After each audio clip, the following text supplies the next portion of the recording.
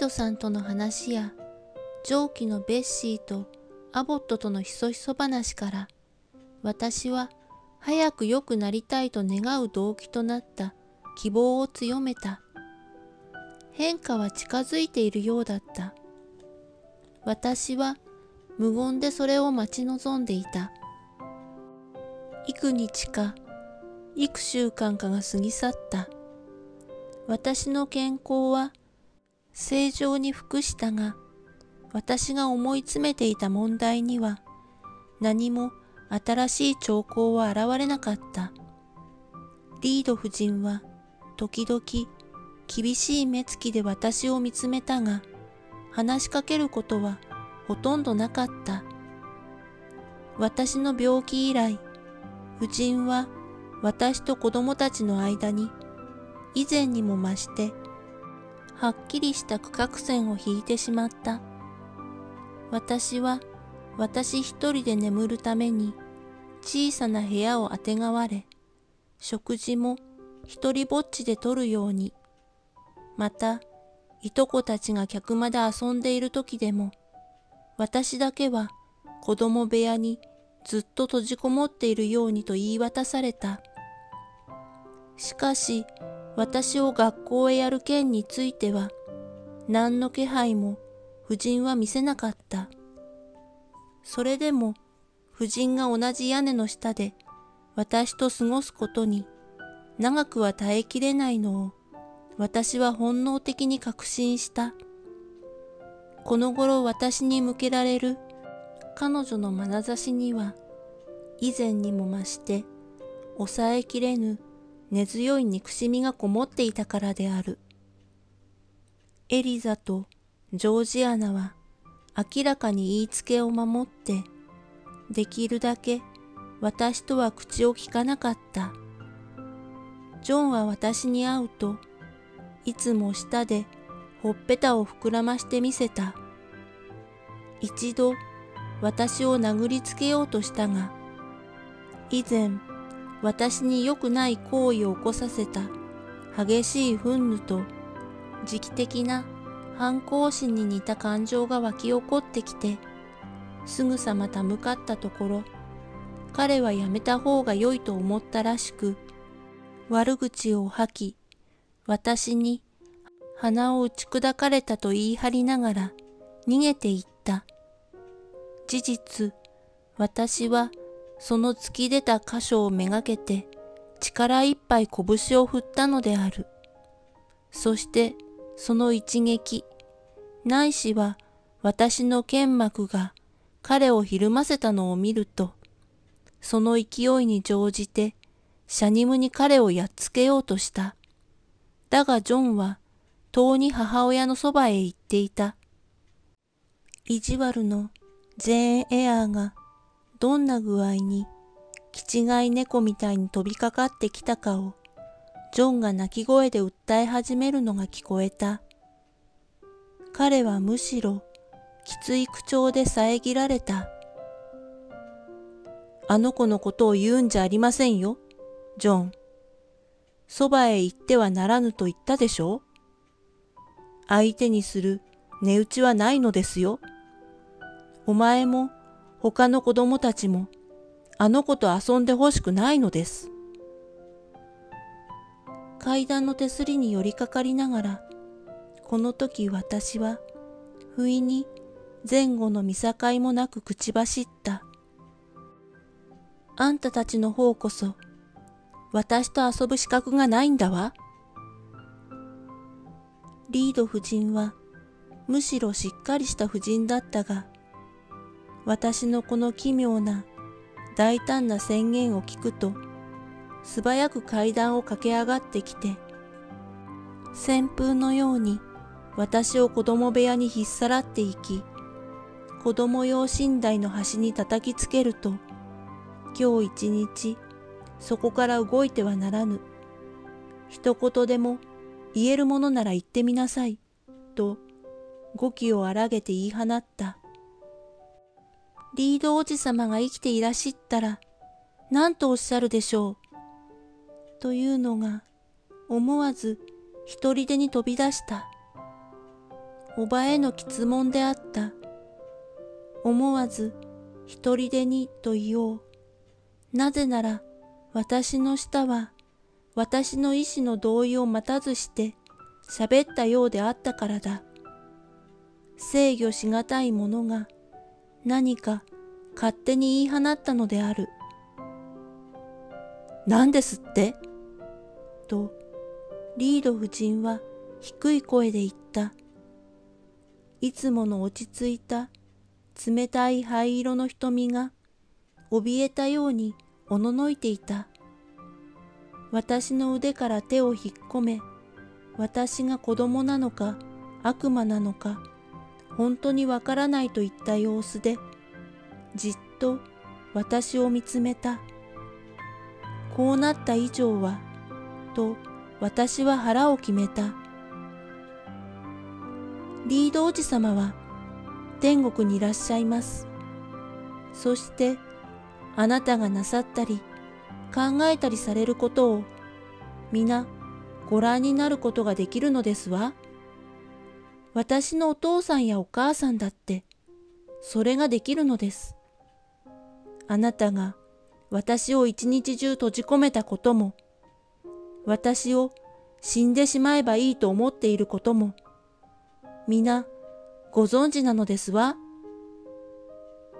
間もなく夫人は気を取り直した。思う存分私を小突き回し、ピシャピシャ両耳を殴りつけ、一言も言わずに行ってしまった。それから一時間にわたってベッシーがお説教した。私がこの屋根の下で育てられた子供の中で一番性質の悪いヤクザな子だということをベッシーは確実に証明してみせてくれた。私は半ば彼女の言葉を信じた。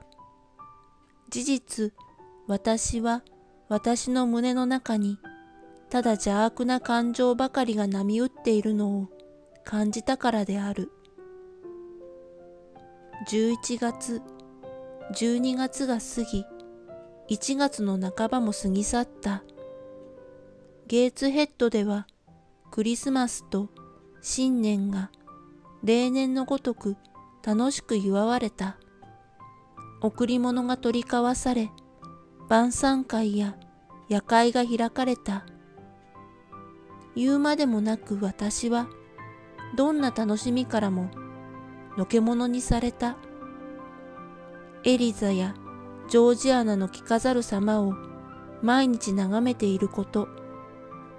モスリンのフロックをまとい、シンクのサッシュを結び、念入りに巻き毛を縮らせて、客前降りていくところを見ているのが、私に与えられた楽しみの分け前だった。その次は、開花で奏でられるピアノやハープの響き、召使い頭や給仕の行き来する足音、飲み物が渡される時のグラスや陶器の勝ち合う音、客間のドアが開閉する時の断片的な話し声などに耳を澄ますことだった。この仕事に飽きると私は階段のてっぺんから寂しいひっそりした子供部屋に引き上げる。そこでは何かしら悲しかったけれど惨めではなかった。本当のところ私はちっともお客の中へ入っていきたくはなかった。人中ではほとんど注意を引かなかったからである。もしベッシーがもっと親切で思いやりが深かったなら、紳士や淑女の溢れている部屋で、リード夫人の怖い目つきに睨まれているよりも、ベッシーと静かに夜を過ごす方がずっと楽しかったであろう。けれどもベッシーは、お嬢様方に衣装を着せてやるとすぐに、大概ろうそくを手にして、賑やかな台所や女中頭の部屋へ行ってしまった。そこで私は薄暗い部屋の中で自分よりも悪いものが出てきはしないかと確かめるために時々あたりを見回しながら暖炉の火が消えかかるまで人形を膝の上に乗せてじっと座っていた。燃え残った沖が鈍い赤みを帯びて消えてゆくと紐や結び目を力いっぱい引っ張って大急ぎで着物を脱ぎ子供用の寝台の中に寒気と闇からの避難所を求めた。この寝台にはいつも人形を連れて入った。人間は何かしら愛さねばいられない。それ以外に愛情の対象がなかったので、私はちっぽけな、かかしのようにみすぼらしい、色あせた偶像を愛し、慈しむことに喜びを見出そうと苦心した。それが命や感覚を持っているつもりになって、どんなに馬鹿げた真剣さでこの小さなおもちゃを可愛がったことか。今は思い出すことも困難である。それを寝巻きの中に抱いていないと眠れなかった。そこに人形が安らかに暖かそうに寝ているときは人形も嬉しいのだと思って私はいくらか幸福だった。お客が帰ってしまうのを待ち、階段をベッシーが上がってくる足音に耳を澄ましている間は、時間の経つのが長く思われた。時々ベッシーは指抜きやハサミを探すため、また夕食の代わりに何か味付けパンだの、チーズ菓子だのを持ってきてくれるために隙を見ては上がってきた。私がそれを食べている間、彼女は寝台の端に腰掛けていた。それから私を布団にくるみ、二度キスして言う。おやすみ、ジェーンさん。そんな風に優しい時のベッシーは、この世で一番いい、美しい、親切な人に思われた。そして、いつもそんな風に上機嫌で、親切で、癖みたいに私を小突き回したり、叱ったり、わけもないのにこき使ったりしなければ、どんなにいいだろうと、心から願った。ベッシー・リーは生まれつき優れた才能を持った娘だったようだ。何をしても気が利いており、話術のコツを心得ていた。子供部屋で聞かしてくれたおとぎ話から受けた印象によっても、そう判断できる。彼女の顔立ちや容姿についての記憶に間違いなければ、美人でもあった。黒い目と黒い毛髪を持った目鼻立ちのとても美しい肌の色も澄んで血色のいいすらりとした娘だったように覚えている。しかし気まぐれで、せっかちで、道義や公正の観念には無関心だった。こういうベッシーではあったが、ゲーツヘッド邸の誰にも増して、私は彼女を好いていた。1月15日、朝の9時頃であった。ベッシーは朝食に行っていなかった。いとこたちはまだ母親のもとに呼ばれていなかった。エリザはボンネットをかぶり、暖かそうな庭木をつけて鳥に餌をやっていた。これは彼女の好きな仕事だったが、女中頭に卵を売りつけ、そうして得たお金を蓄えておくことも、それに劣らず好きであった。彼女は商売っ気があり、貯蓄癖が強く、それは卵やヒナを売るだけでなく、花の根や種子や挿絵を庭師に高い根で売りつけようとする点にも現れていた。庭師はお嬢様の花壇にできるものは何でも皆売りたがるままに買うようにと命じられていた。エリザはいい儲けになりさえすれば自分の髪の毛をすら売りつけたであろう。その代金は最初の間はボロ布やカールペーパーに包んでどこかの隅に隠していた。しかしこの貯金の一部が女中に発見されて以来、エリザは大切なお宝がなくなることを心配して五六割の氷で母親に預けることを暗出し、その利子勘定を小さな帳簿にいとも綿密につけておいて、四半期ごとにきちんと取り立てた。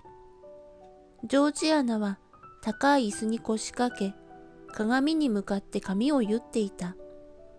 屋根裏の引き出しの中にしまってあるのを見つけた増加と、色あせた羽を巻き毛に祝えつけようとしているところだった。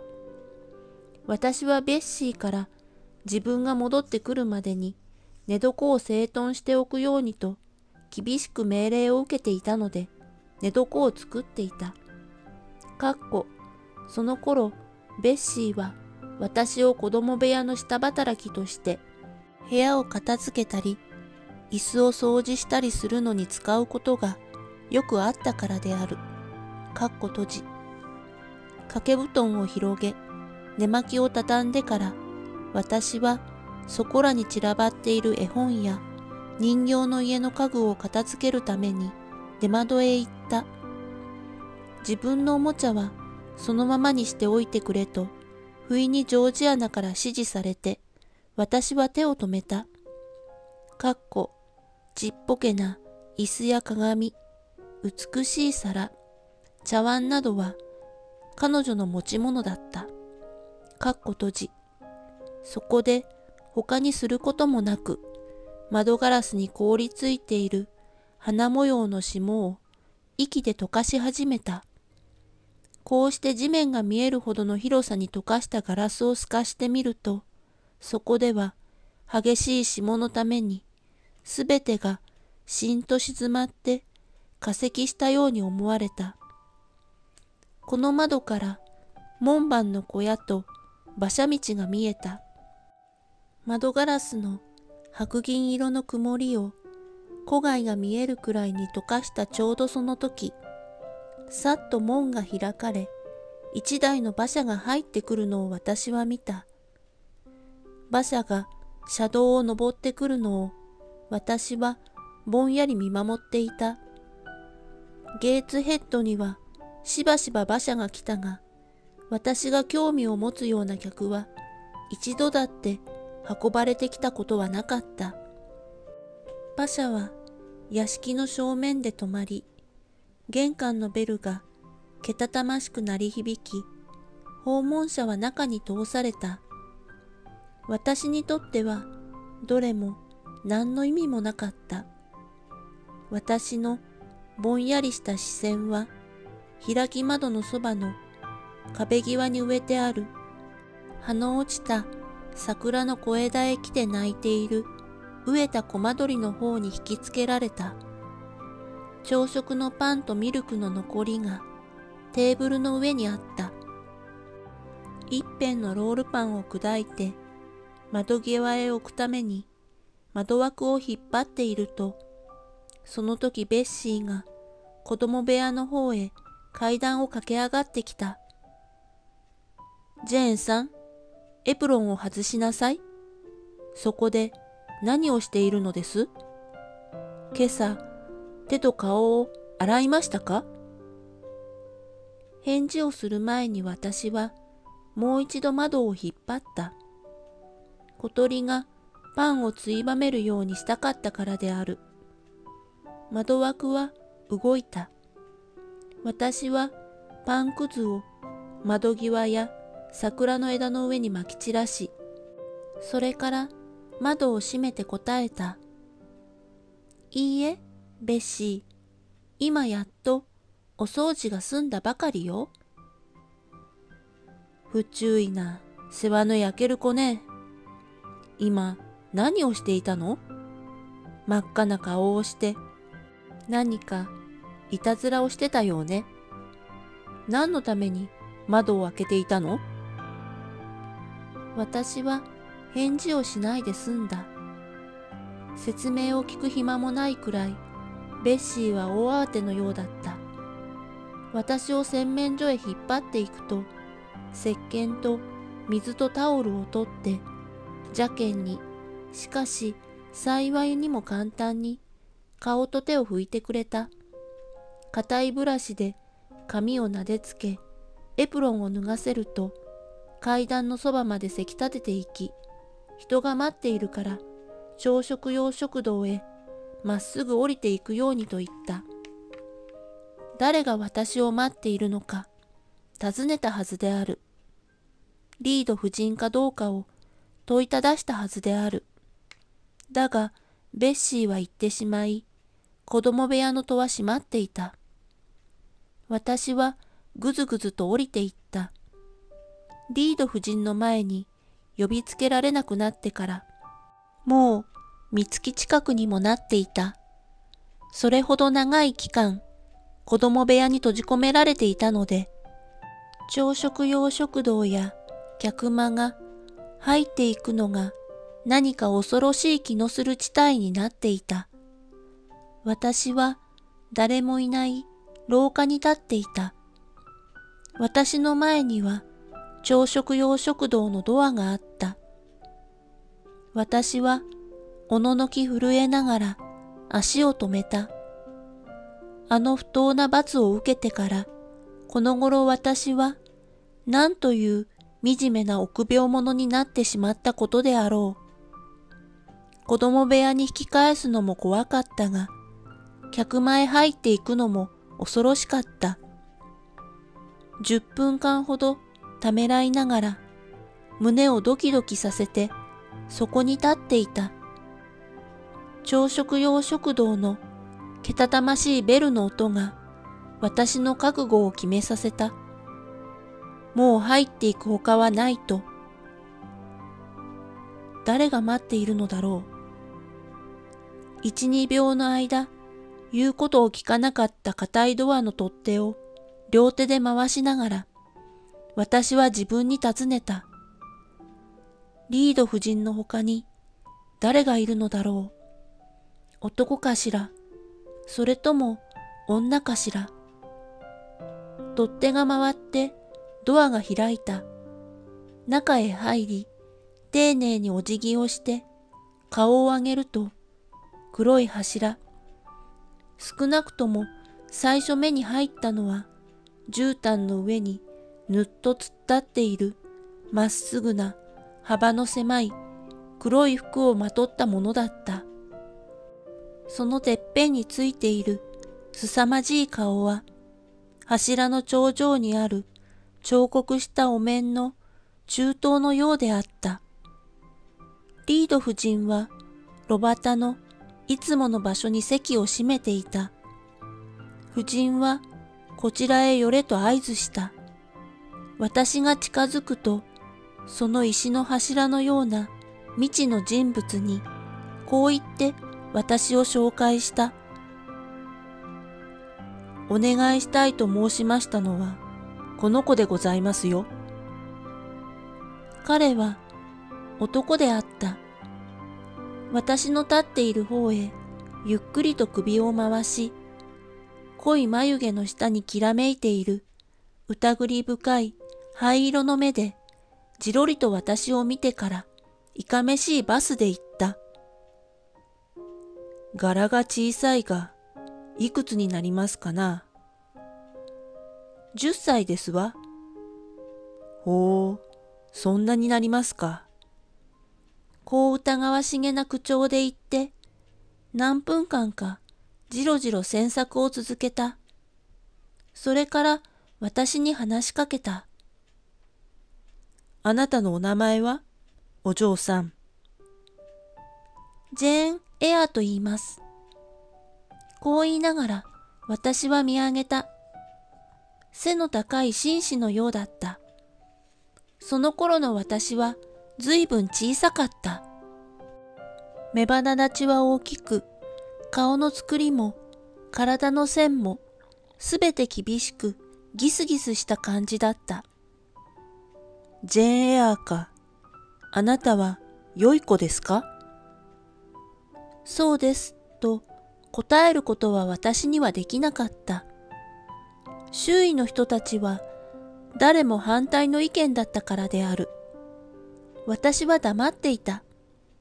リード夫人が私に代わって意味ありげに首を振ってみせ、すぐにこう言いたした。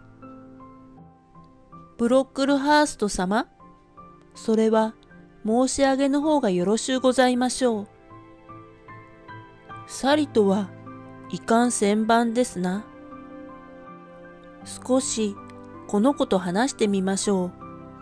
と直立の姿勢をかがめて夫人の向かい側の肘掛け椅子に腰を下ろした。ここへ来なさい。と彼は言った。私は絨毯の上を歩いて行った。彼は私を真正面に立たせた。私の顔とほとんど同じ高さで向かい合ったとき、それは何という顔だったろう？何という大きな鼻、何という口、それになんと大きなそっぱであったろう？わがままな子を見るくらい悲しいことはない。と彼は言い始めた。ことに女の子のわがまま者はな。悪い子は死んでからどこへ行くか知っていますか？地獄へ行きます。私は立ちどころに型にはまった返事をした。で、地獄とは何か説明できますか？火でいっぱいになった穴です。それで、その穴に落ち込みたいと思いますか？そこで年中焼かれたいと思いますか？いいえ、先生。それが嫌ならどうせねばならんかな？私はちょっと考え込んだ。出てきた返事は、けしからんものだった。体を丈夫にして死なないようにしなければなりません。どうして丈夫で生き続けることができると言えるのですか？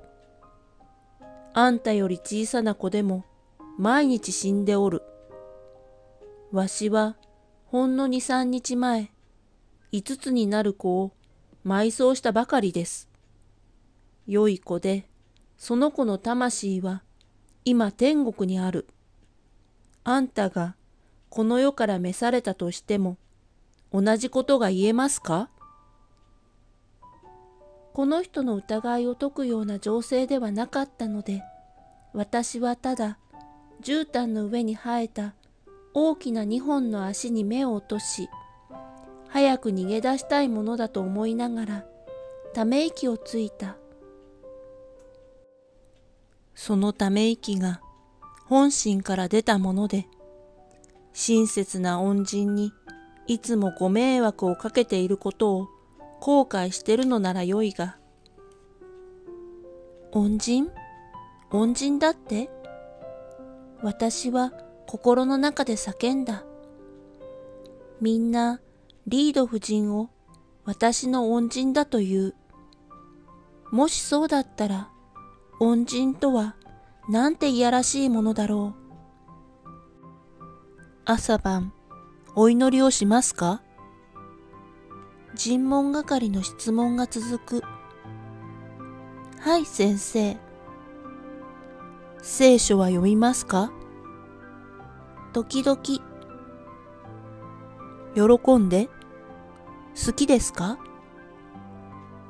目次録とダニエル書創世記、サムエル書が好きです。それと、出エジプト記がちょっとと、列王記略と、歴代史略と、呼ぶ記と、ヨナ書のある部分とが好きです。では詩編はもちろん好きでしょうね。いいえ先生。ほう、スカンこれは驚いた。わしはあんたより小さな子供があるが、詩編を六節も空で知っている。生姜菓子を食べるのと、詩編の一節を覚えるのと、どちらがいいかと聞くと、もちろん詩編です。天使の歌う詩編です。と答える。僕は地上のちっちゃな天使になりたいと答えるのです。そこでその子はあどけない信仰心の報いで、くるみを二つもらうことになるのです。詩編は面白くありませんわ。と私は言った。それは良くない心を持っている証拠です。その心を変えてくださるよう、新しい清い心を授けてくださるよう、その石の心を除きて肉の心を、かっこ、薬中、旧約、エゼキエル書、36章、26節、かっこ閉じ、与えてくださるよう、神様にお祈りをせねばいけません。私はどんな工作を施せば私の心が変えられるのか、その方法を尋ねようとした。その時、リード夫人が口を出して、私に腰掛けるように命じ、自分で話を進めた。ブロックルハースト様、3週間ほど前に差し上げました手紙で、この子が私の希望するような性格や傾向を持っていないことを申し上げましたけれど、この子をローウッド学校へお入れくださいまして、校長先生や諸先生方から厳しい監督をしていただき、何よりもこの子の一番悪い欠点、嘘をつく癖をご注意くださいましたなら、どんなにかありがたいことでございましょう。ジェーンや、お前がブロックルハースト様を騙すことがないように、お前のいるところでこれを申し上げておくのだよ。私がリード夫人を恐れるのも無理はないであろう。私が夫人を憎むのも無理はないであろう。むごたらしくこのように私を傷つけるのが彼女の性質であってみれば、夫人のいるところで私は幸福だった試しがない。十分気をつけて言うことを聞いても、夫人を喜ばすため、懸命に心を砕いても、私の努力は今記したような言葉で跳ねつけられ報いられるのである。今、未知の人の面前で言われた言いがかりは私の胸を切り刻んだ。夫人は私を入れることに決めた新しい生活の中から早くも私の希望を奪い取ろうとしているのだ。そのことを私は、おぼろげながら感じ取ることができた。その感じを言い表すことはできないまでも、私の行く手に嫌悪と告白の趣旨を巻きつつあるのを感じ取った。私は夫人によってブロックルハースト氏の目に駆け引きのうまい有害な子供に変えて見せられたことを知った。この傷を癒すために私に何ができたであろう。できない。何もできはしない。懸命におえつを抑えながら私は思った。苦しみのせんない証拠である涙を急いで拭った。人を騙すことは悲しむべき欠点です。と、ブロックルハースト氏は言った。それは、嘘をつくのと同じことですぞ。嘘つきは、火と硫黄が燃えている池に落ち込むのです。ともかく、この子をお預かりしましょう、リード夫人。テンプル先生や他の先生方によく話しておきましょう。この子の将来にふさわしい方法でご教育くださいますように。と、恩人は続けた。役に立つ、謙遜な子になりますように。それから休暇も、できますなら、ずっとローウッドで過ごさせるようお願いいたします。ご方針は至極ごもっともです、奥様。と、ブロックルハースト氏は答えた。謙遜はキリスト教徒の美徳でありまして、特にローウッドの生徒にふさわしいものでございます。それゆえ、この点の収容に特に配慮いたすよう命じてあります。どうすれば一番よく生徒たちの虚栄心を抑制できるかを研究し、ついに3日前、これに成功した喜ばしい証拠を見ました。上から2番目の娘のオーガスタが母親と一緒に学校へ参り、帰りましてから感心して申しますことに、おお、お父様、ローウッドの生徒たちは、なんて地味で飾り気がないのでしょう。髪の毛をひっつめて、長いエプロンをかけ、フロックに小さな麻のポケットをつけて、まるで貧乏人の子のようだわ。また、こうも申しました。これまで絹のガウンを一度も見たことがないみたいに、私とお母様のドレスを眺めていたことよ。それこそ本当に私の賛成するやり方でございますわ。とリード夫人が答えた。英国中を探しましても、それほどジェーンにぴったりした校風はめったにございませんわ。堅実ということですわね。ブロックルハースト様。私、何よりも堅実を重んじておりますの。堅実は奥様、キリスト教徒の第一の義務であります。そして、ローウッドでは、学校の制度に関係のあるすべての点で、これが守られております。簡単な食事、質素な服装、簡素な設備、豪気、活発な習慣、こういった点が学校や生徒たちの日々の秩序でございます。全く結構ですわ、先生。それではその子をローウッドの生徒としてお任せいたし、この子の境遇と将来にふさわしい教育を施していただけるのでございますわね。承知いたしました。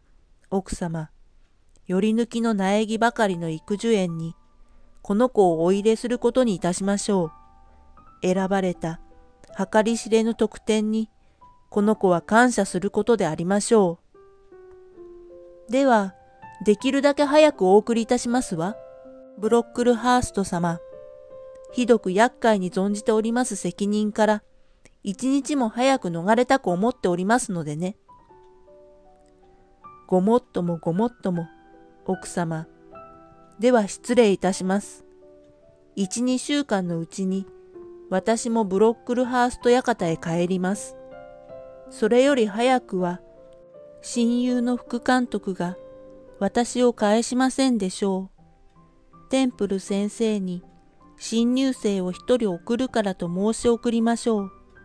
そうすれば、受け入れに不都合はございますまいから。では失礼いたします。ごめんくださいませ。ブロックルハースト様。奥様やお嬢様によろしく。それからオーガスタ様、テオドル様、ブルートン・ブロックルハーストさんにも。申し聞かせます、奥様。ところで小さなお嬢さん、ここに子供の道という本があります。お祈りをして読むのですぞ。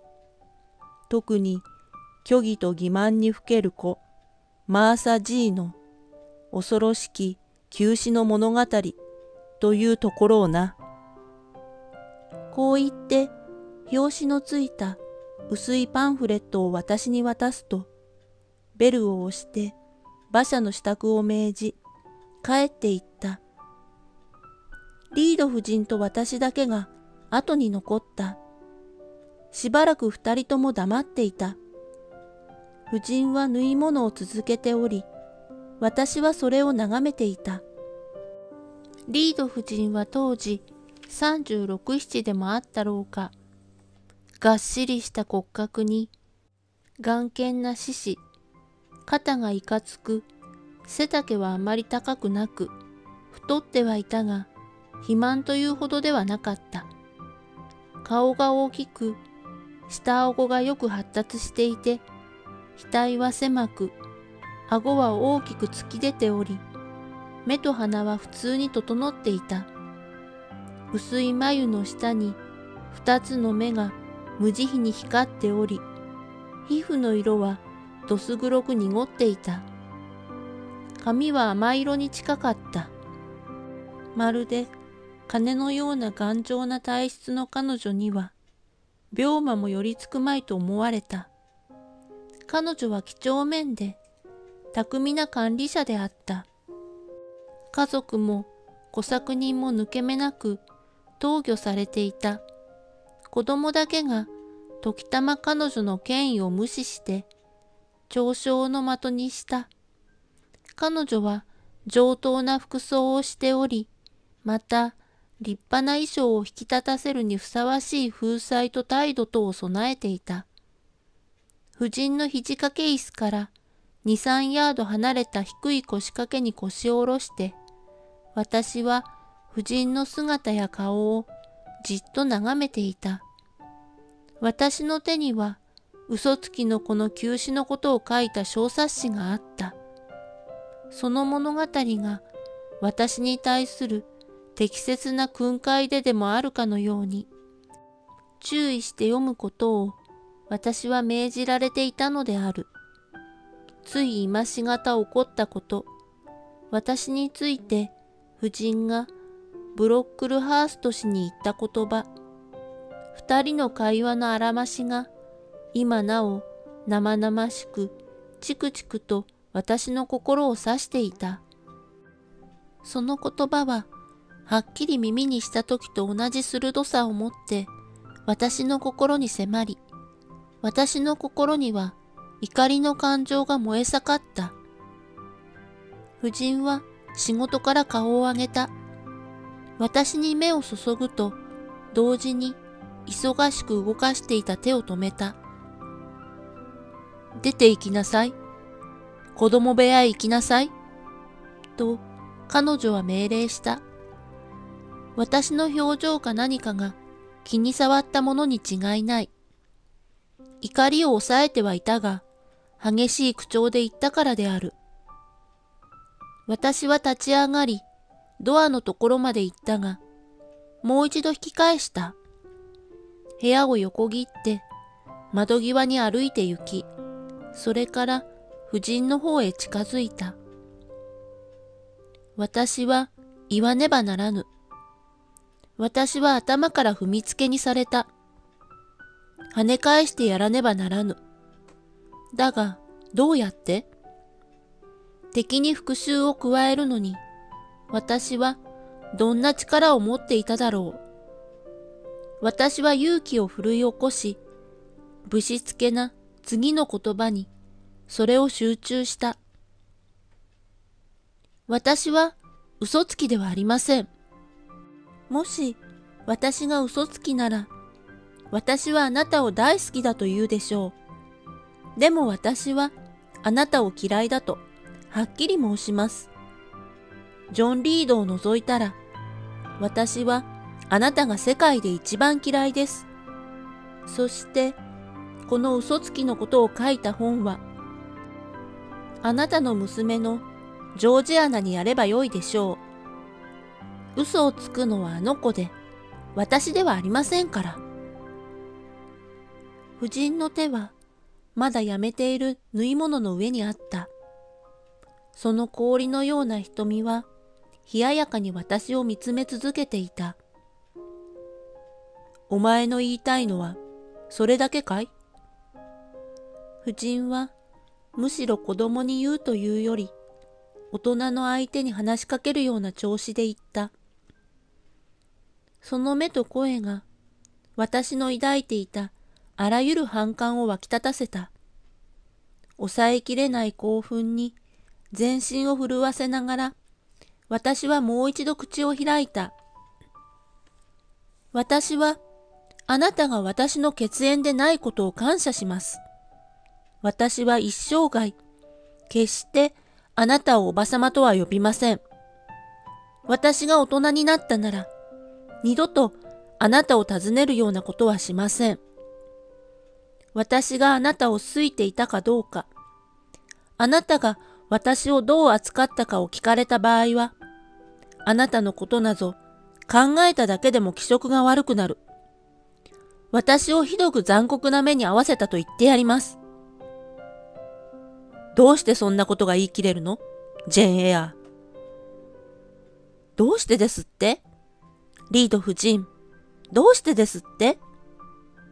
それが真実だからですわ。あなたは私には感情なんぞないと思っているのです。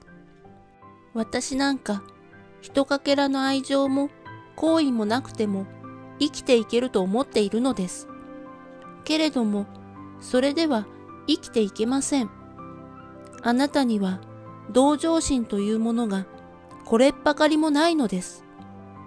あなたがどんな風に私を赤い部屋に押し込めたか、どんなに手荒く乱暴に押し込めたか、悲しみで息も絶え絶えになり、おばさま、助けてください、許してくださいと泣き叫んでも、苦しみもだえても、錠を下ろしてしまって開けてくれなかったのを私は死ぬまで忘れません。あなたはあなたの悪い子供が私を撃ち、理由もないのに殴り倒したというので、私にあんな罰を加えたではありませんか。尋ねる人には誰にでも本当のことを言ってやります。あなたは世間では善良な婦人として通っていますが、本当は悪い、薄情な人です。あなたこそ嘘つきだわ。この言葉がまだ終わらぬうちから私の心はかつて味わった試しのない不思議な自由と勝利の気持ちで膨らみ跳ね上がった。目に見えぬ戒めが吹っ切れ思いもかけぬ自由の世界へあがき出たようであった。この感情も理由がないわけではない。リード夫人はドキリとした様子だった。縫い物が膝から滑り落ちた。夫人は両手を上に上げ、体を前後に揺さぶりながら、泣き出しそうに顔を歪めていた。ジェーン、お前は思い違いをしているのだよ。一体どうしたの？どうしてそんなにひどく震えているの？水が欲しくないかね？欲しくありません。リード夫人。他に話があるのかい？ジェーン。本当に私はお前の友達になってあげたいのだよ。あなたに言いたいことはありません。あなたはブロックルハーストさんに私が良くない性質で嘘をつく癖があると言いました。私はあなたがどんな人かどんなことをしたか、ローウッドの人に誰にでも教えてやります。ジェーンや、お前にはそういうことがわからないのです。子供は欠点を直さねばなりません。嘘つきは私の欠点ではありません。私は噛みつくような甲高い声で叫んだ。しかしお前は感触持ちですよ、ジェーン。それは自分でも認めないわけにはいくまい。さあ、子供部屋へお帰り。いい子だから。そして、しばらくお休み。私はあなたのいい子じゃありません。休むことはできません。私をすぐ学校へやってください。ここで暮らすのは私は大嫌いなのです。本当に、すぐに学校へやってしまおう。と、夫人は低い声でつぶやいた。そして縫い物を拾い集めると、不意に部屋を出て行った。私は一人、戦場の勝者としてそこに残された。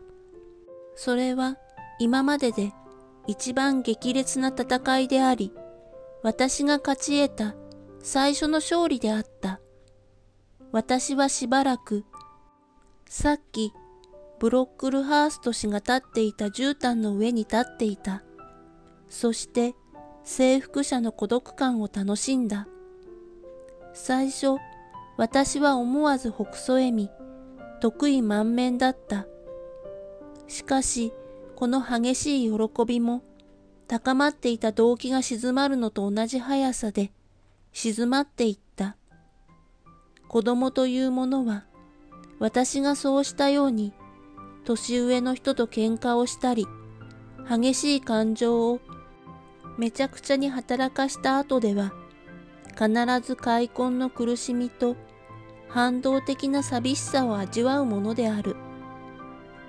生き物のようにきらめき、舐め尽くすように燃え盛るヒースの山こそ、リード夫人を非難し、脅迫した時の私の心にふさわしい象徴であろう。また、火炎が消えた後の真っ黒い焼き尽くされた草原の姿こそ、その後の私の状態、半時間の沈黙と反省の結果、自分の振る舞いが気違いじみていたこと、人に嫌われ、自分も嫌っている私の境遇のわびしさを思い知った時の状態をぴったり表現するものであったろう。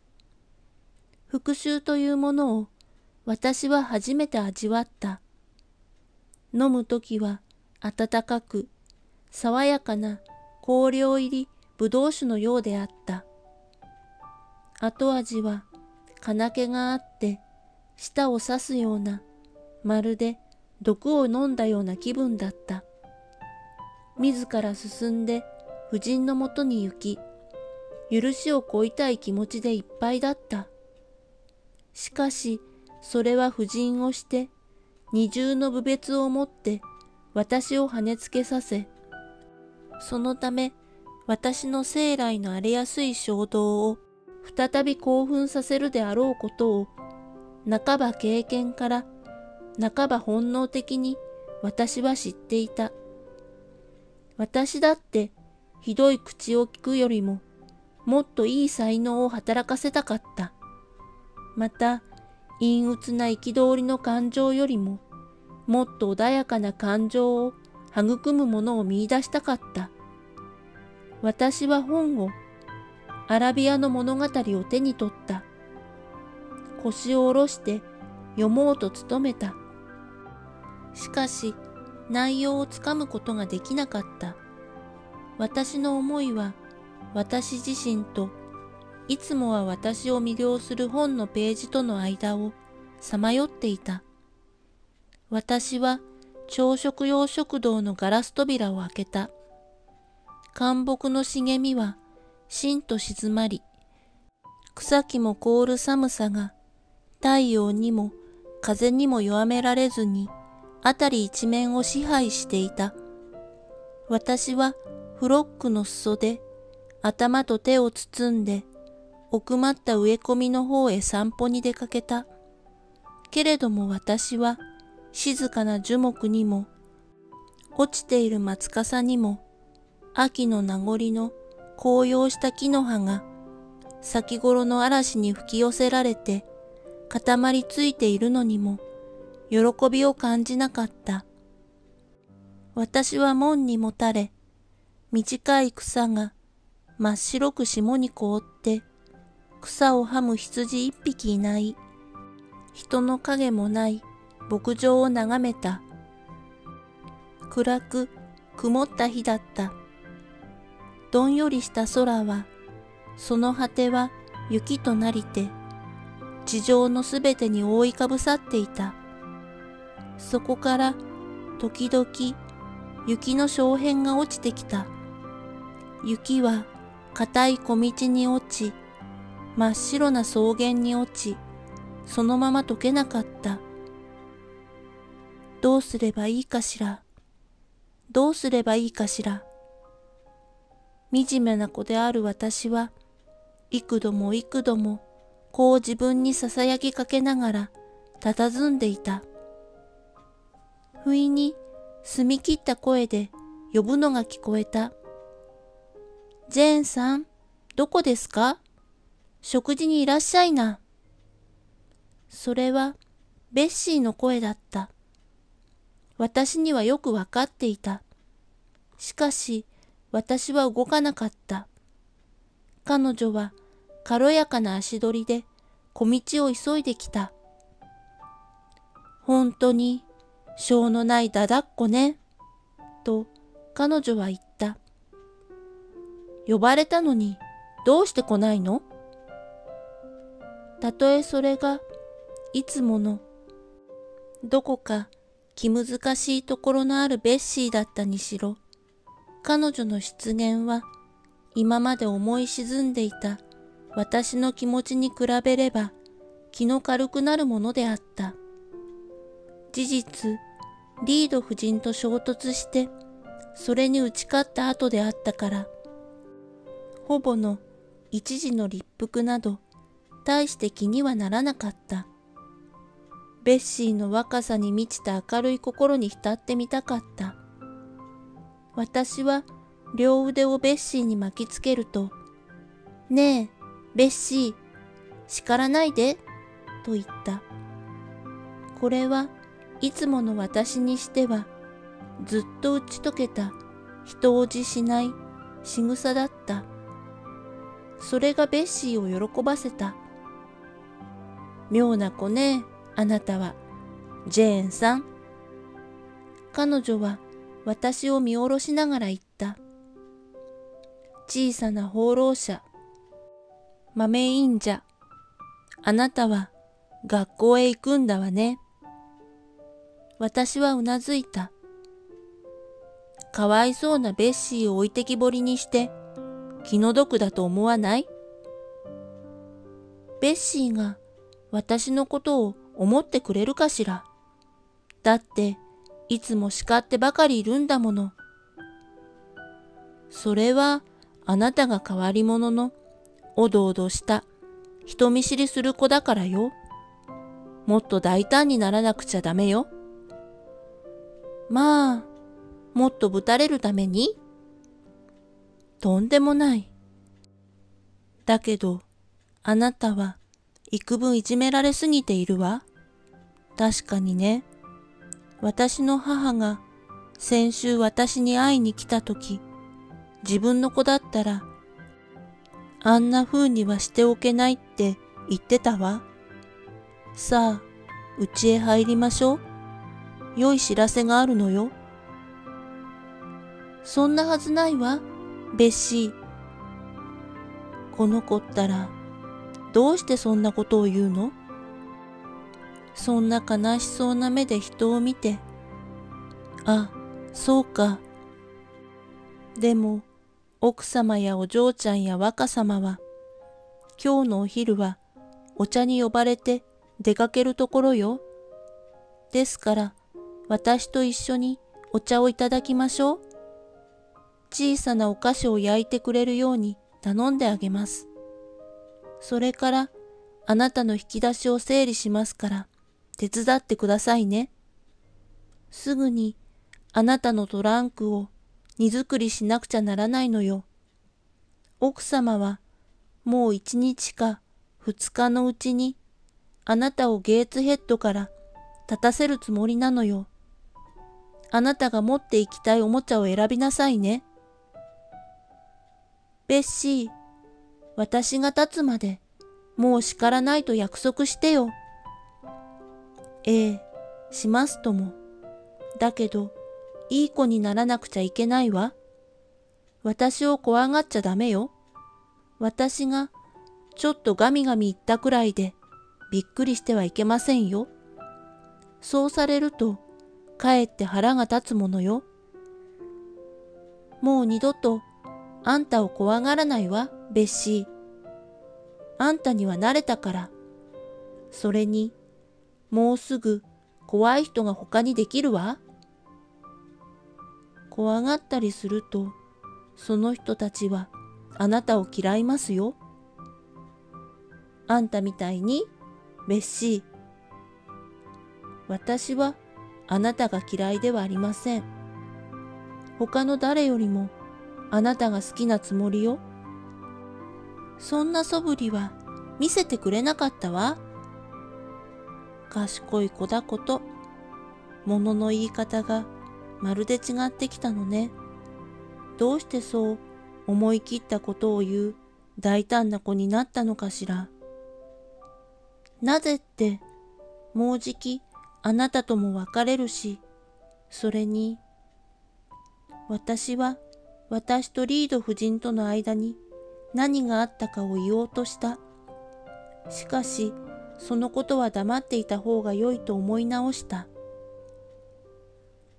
それで、私と別れるのがそんなに嬉しいの？ちっとも、別紙、今となれば、むしろ残念なくらいよ。今となれば、むしろですって。よくも済ました顔で、そんなことが言えることね。今接吻してちょうだいと頼んでも、きっとあなたはしてくれないわね。むしろ、したくないとおっしゃることでしょうね。喜んで接吻するわ。顔を下げてよ。ベッシーは身をかがめた。私たちは互いに抱き合った。私はすっかり愉快になって家の方へベッシーの後からついていった。その日の午後は平和に和やかに過ぎた。晩にはベッシーがとっておきのお話をいくつか話してくれ、一番美しい歌を歌ってくれた。